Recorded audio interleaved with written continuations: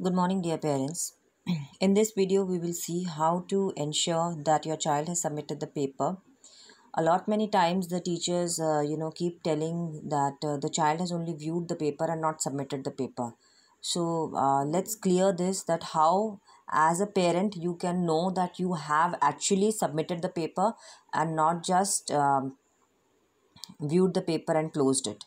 So step number one is you go to the assignment here okay this is from the mobile. I'm recording from the mobile. The, the procedure will be same for uh, for the lap computers or laptops also.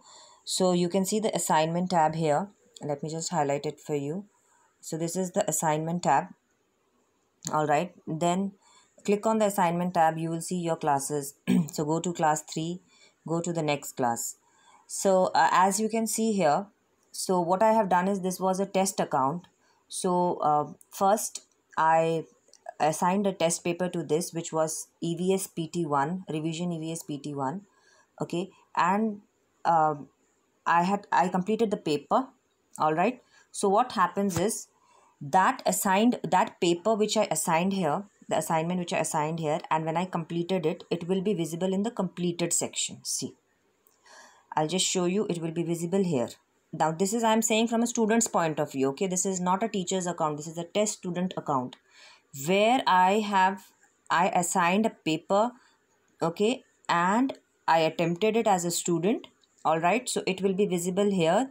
Revision 1 pt1 evs okay? Where is it where is it uh, uh, visible? I'll just show you again in which section. Just see here.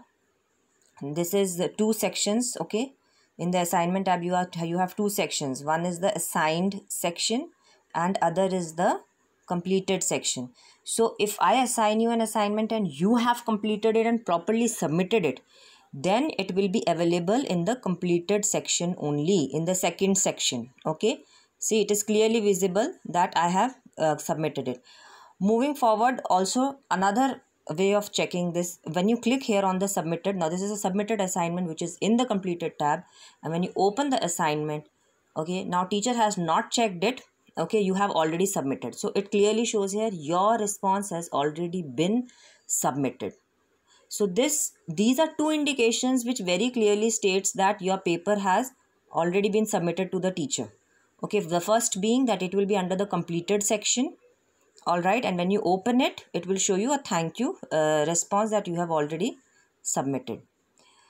Now here i assigned the paper again to myself okay? So this this you can see here that i have assigned it here testing purpose revision 1 pt1 all right now just see here. Suppose as a student i open it all right? And i open the paper okay?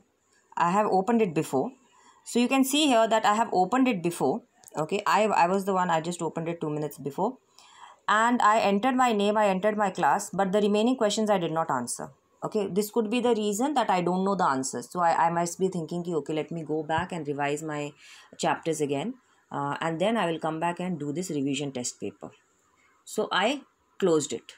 All right i did not press on the submit button i closed it.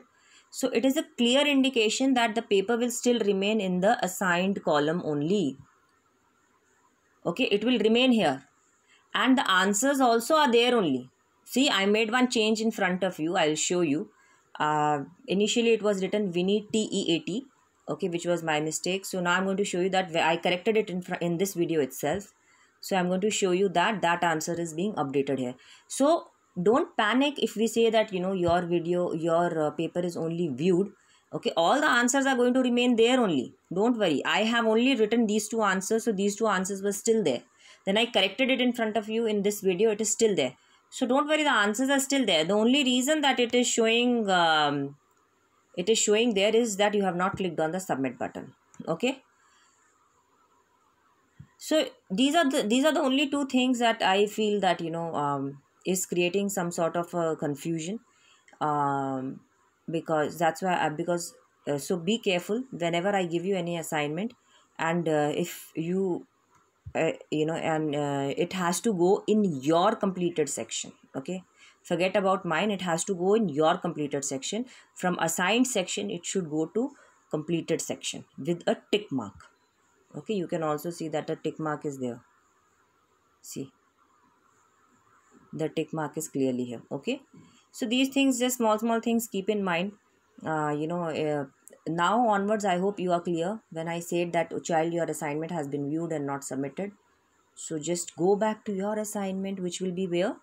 In the assign tab. Okay it will be in the assign tab. And just click on the submit button so that it goes further to the completed section.